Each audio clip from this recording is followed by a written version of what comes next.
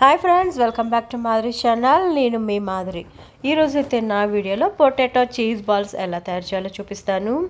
ఇదైతే చాలా అంటే చాలా జ్యూసీగా ఉంటుందండి. మనము ఇది ప్రెస్ చేసినప్పుడు స్మూత్గా అలాగే చాలా అంటే చాలా బాగుంటుంది. ఇది మనం మైనస్తో కానీ అలాగే ఈ టమోటా కచప్తో కానీ తింటే చాలా బాగుంటుందండి. దానికోసం నేను ఫస్ట్ ఒక ఫోర్ పొటాటోస్ తీసుకున్నాను. ఇవైతే మనం కుక్కర్లో పెట్టేసుకొని బాగా ఉడకబెట్టుకోవాలండి. అలాగే కొంచెం మన స్పైసీ కోసం పచ్చిమిరపకాయలు అల్లము అలాగే సాల్ట్ అనేది యాడ్ చేసేసుకొని మిక్సీ చేసుకున్నాను. ఇట్లా స్మూత్గా పేస్ట్ చేసుకున్నాం కదా ఇది పక్కన పెట్టేసుకొని. మనం ఇప్పుడు పొటాటోస్ అనేది ఉడికిపోయినాయో లేవో చూసుకుందామండి. ఇవి ఉడికిపోయినాయి కదా. ఇవి ఉడికిపోయిన తర్వాత నేను ఇలాంతా స్మాష్ చేసి పెట్టుకున్నాను ఒక గిన్నెలోకి. ఇందులోకి మనం చీజ్ యాడ్ చేసుకోవాలండి. అందుకోసం నేనైతే ఈ చీజ్ స్లైసెస్ అనేది తీసుకున్నాను.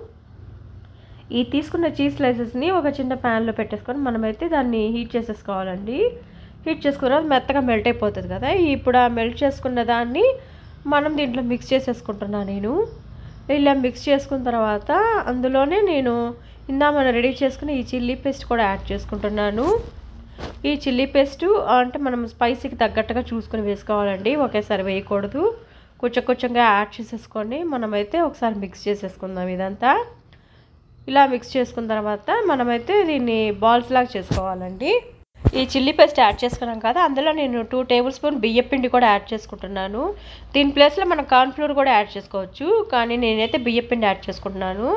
ఇలా బియ్యం పిండి యాడ్ చేసుకున్న తర్వాత మనమంతా దీన్ని బాగా మిక్స్ చేసేసుకోవాలి ఇదంతా. మిక్స్ చేసుకున్న తర్వాత సాల్ట్ కానీ చిల్లీ పేస్ట్ కానీ అదే కారం కానీ సరిపోతే ఇంకొంచెం యాడ్ చేసుకోవచ్చు. ఇలా అంత రెడీ చేసుకున్న తర్వాత నీటిని అయితే మనం చిన్న చిన్న బాల్స్ లాగా చేసుకోవాలి. నేను దీనికోసం ఫస్ట్ ఆయిల్ అనేది హీట్ చేసి పెట్టుకుని ఉన్నానండి. ఇప్పుడు వీటిని కొంచెం మనం చేతులకి ఆయిల్ అనేది అప్లై చేసేసుకొని ఈ ఆయిల్ అప్లై చేసుకున్న తర్వాత ఈ చీజ్ బాల్స్ని మనమైతే ఈ చేత్తో ప్రెషర్ చే చిన్న చిన్న బాల్స్ లాగా చుట్టుకోవాలన్నమాట. ఇది ఆయిల్ అప్లై చేసుకున్నామంటే మన చేతికి అది అంటుకోకుండా ఉంటుంది. ఇలా అప్లై చేసుకున్న తర్వాత ఈ చిన్న చిన్న బాల్స్ అనేది నేను పక్కన పెట్టేసుకున్నాను ఒక ప్లేట్లో ఇలా మిగతా అండి ఒకేసారి చేసేసుకొని పక్కన పెట్టుకుందామండి. అది మధ్యలో మనకి ఏమైనా ఆయిల్ తగ్గింది అంటుకుంటుందంటే ఇంకొంచెం ఆయిల్ అనేది యాడ్ చేసేసుకొని మళ్ళీ మనం బాల్స్ అయితే రెడీ చేసుకోవాలండి.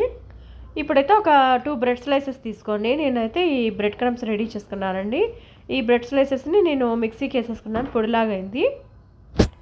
ఇలా రెడీ చేసుకున్న తర్వాత ఈ చీజ్ బాల్స్ని మనం దాంట్లో డిప్ చేసేసుకొని డిప్ చేసుకున్న ఈ చీజ్ బాల్స్ని మనం అయితే ఆల్రెడీ ఆయిల్ అనేది హీట్ చేసుకున్నాం కదా దాంట్లో అయితే వేసేసుకుందామండి నేను చేసిన మిస్టేక్ ఏంటి అంటే అది సడన్గా నేను ఆయిల్ అనేది కొంచెం హీ హైలో పెట్టుకొని వేసేసాను.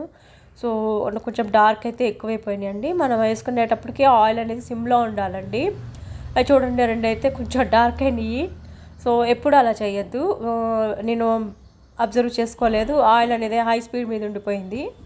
ఇప్పుడైతే ఈ చీజ్ బాల్స్ అయితే రెడీ అయిపోయినాయి అండి ఈ వీడియో మీకు ఈ రెసిపీ మీకు నచ్చింది అనుకుంటున్నాను మీరు ఒకసారి ట్రై చేయండి. Thank you for watching